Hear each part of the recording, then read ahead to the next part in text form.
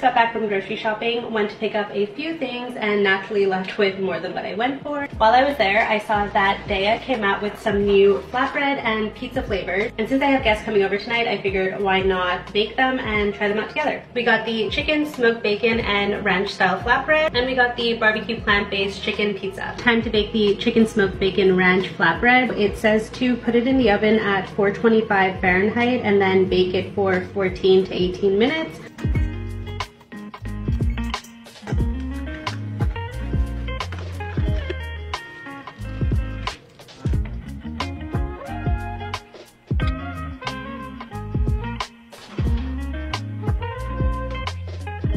Time to cut it up and test it out.